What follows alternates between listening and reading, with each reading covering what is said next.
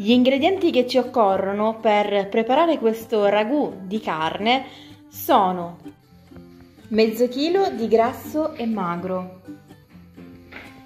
mezzo chilo di costolette e mezzo chilo di salsiccia.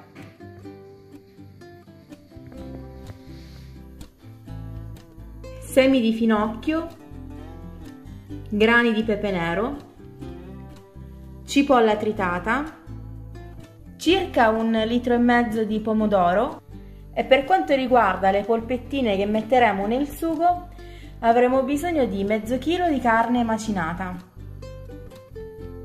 circa 150 g di pan grattato, 4 uova, 100 g di formaggio grattugiato e del prezzemolo Ovviamente anche un pochino di sale e di olio extravergine di oliva.